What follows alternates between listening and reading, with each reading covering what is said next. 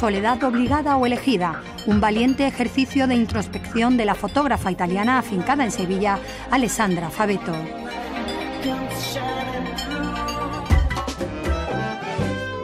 Ludo es una apuesta por el juego y Ludo es también una magnífica excusa para juntar un buen número de profesionales andaluces del circo, el teatro y la danza.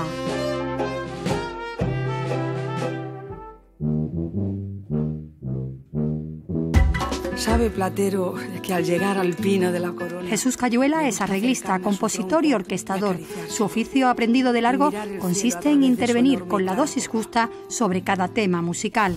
En sus manos se han puesto desde Carmen Linares a Manolo Tena.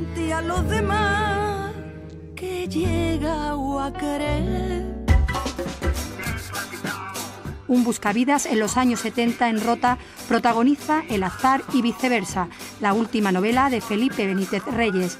Humor como antídoto frente al melodrama. Ya hemos perdido cuatro espectadores. Vamos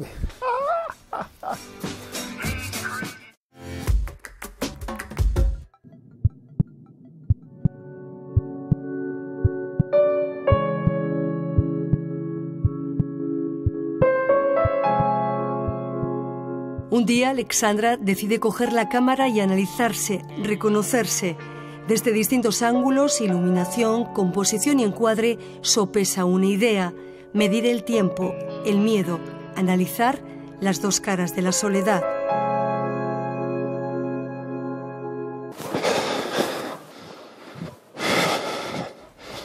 Es bueno estar solo porque también la soledad resulta difícil y el que algo sea difícil debe ser para nosotros un motivo más para hacerlo. Pues claro, que todos los trabajos de introspección son difíciles porque es, eres tú que te obligas a mirarte al espejo, ¿no? Entonces, eh, a veces hay cosas o emociones que quizá son más difíciles de expresar y otras que es que son más fáciles, ¿no? Cuando uno se siente bien es más fácil expresar que no cuando se siente mal. Pero eh, justo por esto, mm, digamos que ha sido fácil el trabajo, porque la soledad realmente te da, te da modo de afrontar estas dos caras.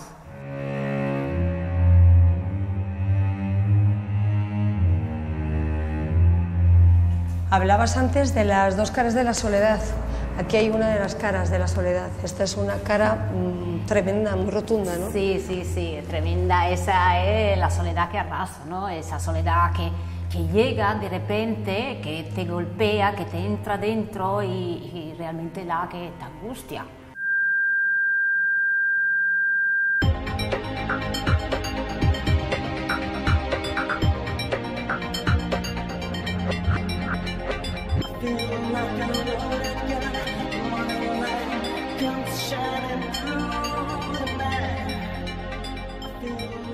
Soy autorretratista desde el principio, desde que empecé a, fotografiar. Y es una forma muy sí, cómoda, entre comillas, para mí, eh, para, para expresar lo que siento, ¿no? Cuando yo siento necesidad de hacer una foto, porque en ese momento tengo algo que decir, estoy ahí, estoy ya disponible para hacerlo. Me resulta muy fácil expresar mm, mí misma, ¿no? lo que estoy viviendo a través de mi cuerpo, a través de mi lenguaje, que no dirigir un modelo a intentar que sienta lo que yo estoy viviendo.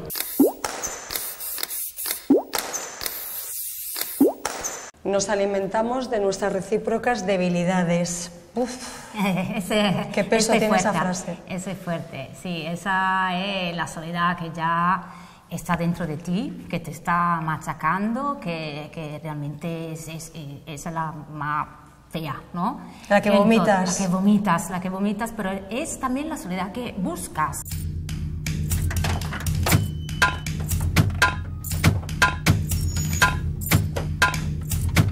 El crear una exposición es un proceso ¿no? que está en, en- en concreto durado un año y medio.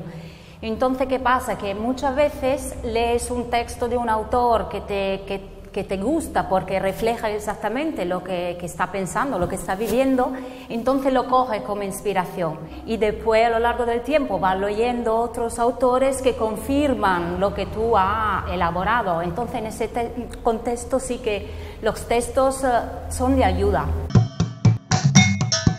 Ver, ojear, repasar reflejar distintos grados de atención que transpiran por una lente mimetizada con estados anímicos predispuestos a perderse entre la gente, entre las cosas.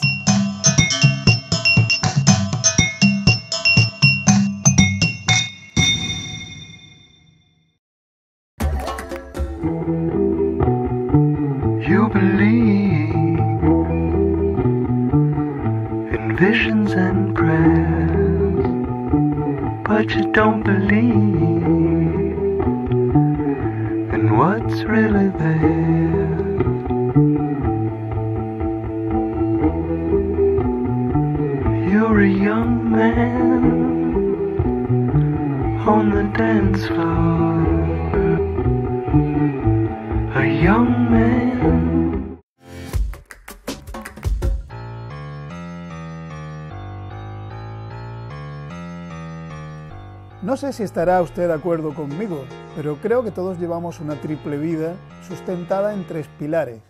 Lo que queremos ser, lo que quisiéramos ser y lo que en verdad somos. El protagonista de la novela va teniendo distintas identidades, incluso nominales, a lo largo de la novela, con arreglo a las circunstancias que se le van presentando. Yo creo que, el concepto de identidad personal está un poco magnificado uno se conoce hasta cierto punto, pero también hay una, zona de sombra que les resulta misteriosa. Esa zona de sombra es la que nos hace o bien asentarnos y triunfar en la vida, o bien fracasar estrepitosamente en la vida. Ni siquiera podemos sospechar los sitios en que es capaz de esconderse la vida cuando los buscavidas salimos a buscarnos la vida. El primer tramo de la, novela, la primera parte, eh, tiene un, esquema muy claro de reminiscencia de la novela picaresca. El hecho de tener que ganarse la, vida desde niño, en principio supone perder la vida desde, niño. Entonces toda la novela acaba siendo la búsqueda suya de un lugar en el mundo. En sus rondas de noche, mi madre conoció al sargento Wharton, que era de Oregón. El sargento Wharton me regalaba golosinas extranjeras, bolígrafos y cuadernos con insignias militares. Una vez me regaló un cuarto de dólar de plata. Otra vez me regaló un guante de béisbol.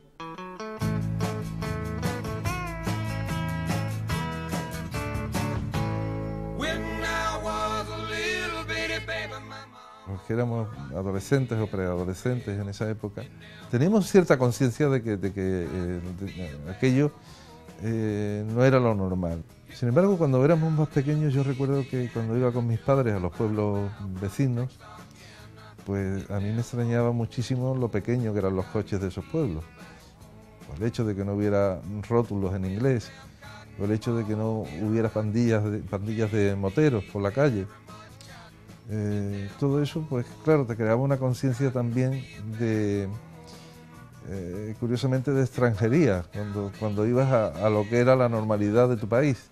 Al ser un relato contado en primera persona, eh, consideré que era, que era conveniente que, ese largo monólogo del protagonista tuviese un tono esencial de oralidad. En Cádiz hay una especie de vanidad en la formulación que se considera que decir una frase demasiado previsible es una muestra de falta de inteligencia. Hay que darle un quiebro propio a lo que se diga, por muy trivial que sea, por, cotidiano que sea, eh, darle un giro que demuestre que tú dominas bien lo que estás diciendo y que tienes chispa. Esta novela, Felipe, aparece después de 10 años de tu última novela. Opción A, no tenías nada que contar. Opción B, tenías algo que contar y te has esmerado en hacerlo. Opción C, problemas editoriales. Tú dirás. Pues quizá opción D. Eh, tenía, tenía una historia que quería contar. eh, tenía ganas de contarla, eh, pero no tenía ninguna prisa por contarla. Eh, quería que fuese un libro que tuviese un ritmo de escritura demorado, eh, sin ningún tipo de presión editorial, sin ninguna urgencia por publicar, que es una cosa que uno con la edad pierde. No tiene esa urgencia del escritor joven que quiere que, el mundo caiga rendido ante su talento, eso ya uno lo pierde con, con la edad, incluso pierde no solo el talento, sino incluso el público. Y, y nada, pues me lo tomé con tranquilidad.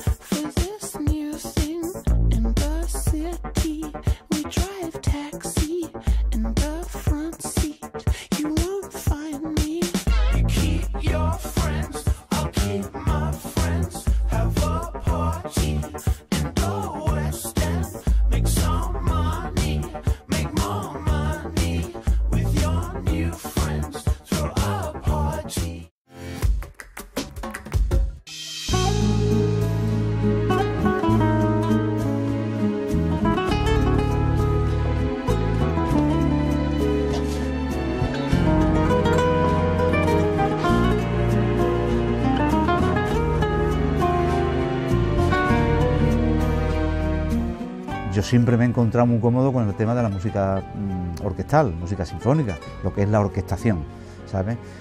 Pero yo me siento a gusto realmente con cualquier trabajo que se me pida, porque no olvidemos las palabras de falla, ¿no?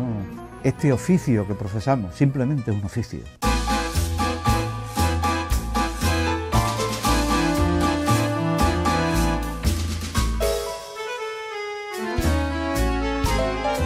Hay una, persona que necesita que le hagas un, arreglo pop, que de hecho los he hecho, ¿no? A Diango, a- y entonces te pone rápidamente la maquinaria que tiene que funcionar en pop, no en sinfónico, o en pop y en sinfónico. Y cuando te dicen flamenco tienes que, tienes que retrotraerte a las armonías que sonaban de Turina, de Falla, de la escuela nacionalista, impresionista, ¿no? Entonces, pues, te sientes a gusto con todo, porque has tenido siempre una escuela muy, un abanico grande donde fijarte. Lo malo es cuando estás limitado y solamente sabes hacer una cosa, ¿sabes? Pero al ser tan viejo ya como soy, pues he aprendido muchas cosas y, el arte es ponerlo en práctica. Sabe Platero que al llegar al pino de la corona me gusta acercarme a su tronco y acariciárselo y mirar el cielo a través de su enorme y clara copa. Es tan igual a mí, tan diferente a los demás, que llega a querer que sueña mi propio sueño. Me bajo para aliviarlo. Lo beso, lo engaño, lo hago rabiar. Él comprende bien que lo quiero y no me guarda rencor. En el aspecto, por ejemplo, de arreglos y orquestación, yo siempre sigo la pauta, quizás austera, pero siem- a mí me han enseñado eso, a la austeridad y simplemente a enseñar y a, aportarle al tema lo que el tema necesita, lo que el tema necesita, porque es un apoyo.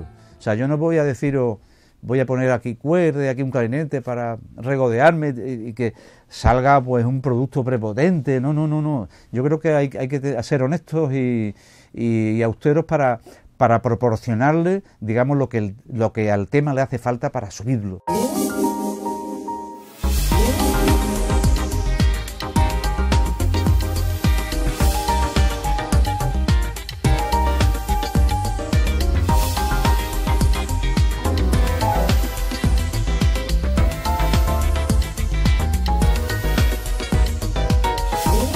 La única manera que tienes de vivir y de, de, mm, ¿cómo te diría?, de, sentirte feliz, si se puede llamar felicidad, es componiendo. Entonces, son mm, como visiones.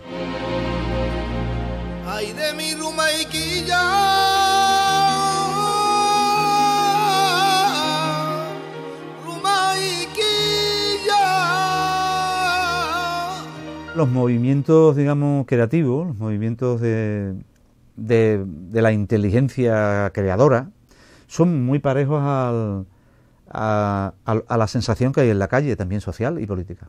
¿sabe? Es eh, un momento que no está falto de apasionamiento. Quiero decir, las cosas están cambiando, porque la gente no está contenta.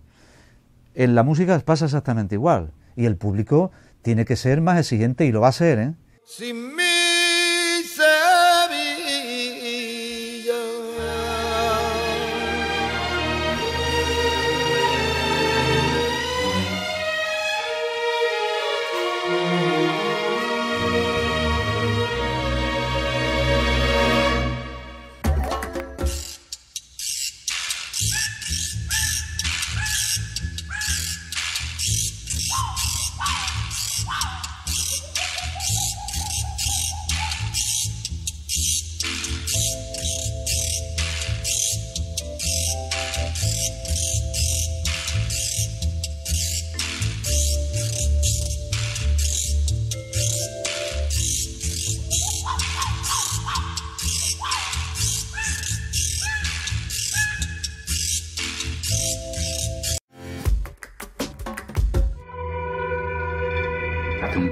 Semanas estaba enseñando un piso a unos clientes.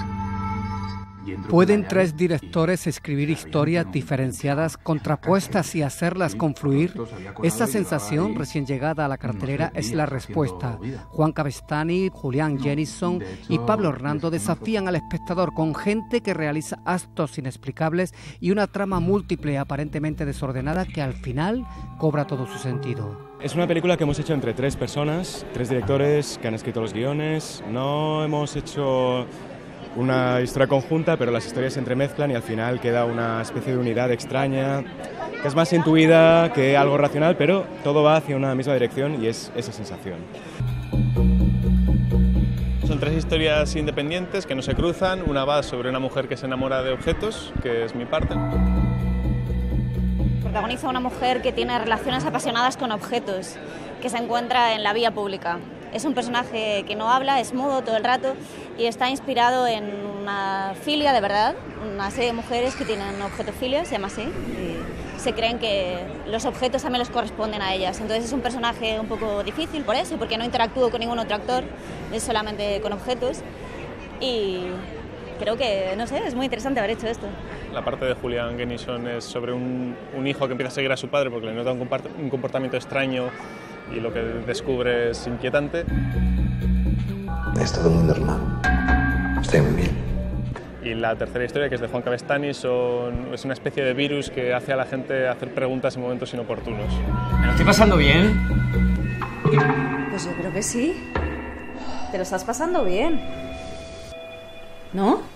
Hay una complicación a la hora de encontrar eh, igual un consenso en la fase final de cerrar la película, digamos, que a la hora de arrancar. A la hora de arrancar es más motivador, tienes en dónde apoyarte, sa- sabíamos y además era uno de, las, uno de los motivos del experimento era saber que las carencias de uno igual las suplía la presencia del otro, que igual nos contaminábamos de cosas interesantes, como creo que así ha sido. Y luego, claro, luego viene la hora de los compromisos, que también está bien hacerlo. ¿no? Tener una mirada, tener algo que te obliga a plantearte si está bien lo que estás haciendo.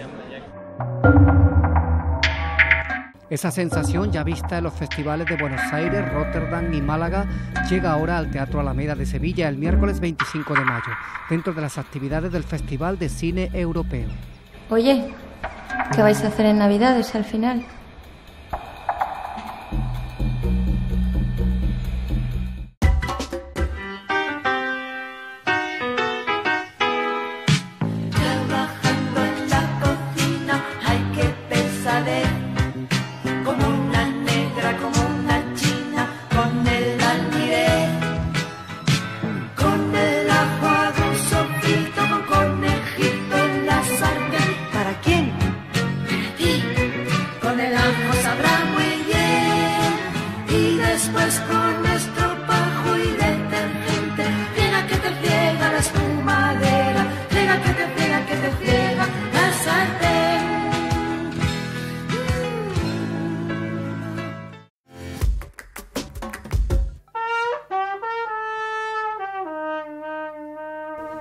¿Qué puede ocurrir si siete profesionales del circo, del teatro y de la danza andaluces se juntan simplemente para jugar? Hemos venido a comprobarlo al Teatro de la Villa de Marina del Alcor, en Sevilla. Silencio, se ensaya.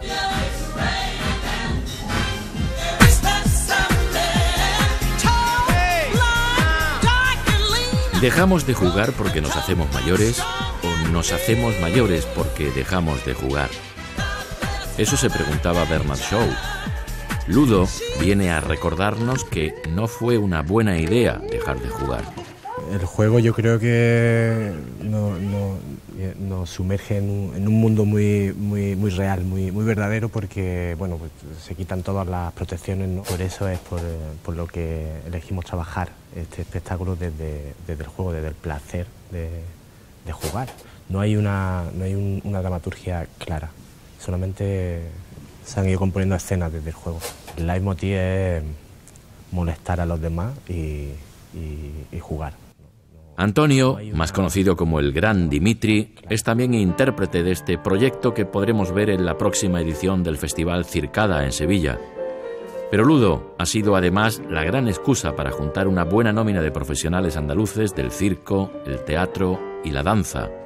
Son compañías y artistas residentes en Andalucía. Muchos de nosotros nos hemos formado fuera, pero hemos vuelto a Andalucía. Y nos parecía muy interesante la primera vez que se hace un proyecto de este tipo, en el que se unen, o sea, un proyecto de este tipo en Andalucía.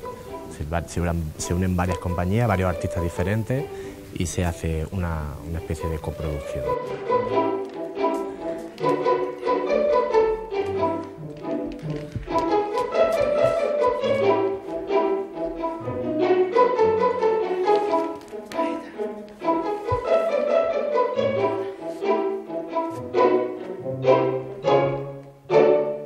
El Ludo, la música de Morten Jespersen, está interpretada en directo. y ha adquirido tanta importancia su trabajo porque nos ha acompañado en todo ese ensayo que al final lo hemos incluido como, como un miembro más dentro de en gira porque la intención es que él toque en directo en vez de que sea música enlatada. Entonces la música ha, cogido un- una importancia muy, muy grande dentro de- del proyecto al final.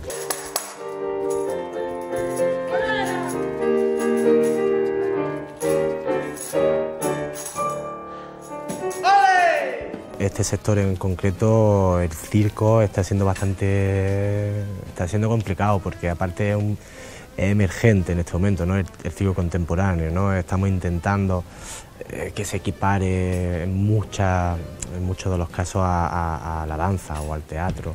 Nos vemos obligados a, la internacionalización incluso, ¿no? en pensar en, otras- en otros mercados, en otras vías de venta. El circo en Andalucía va bien, pero sé que en los próximos años y confío en que, en que va a ir mucho mejor.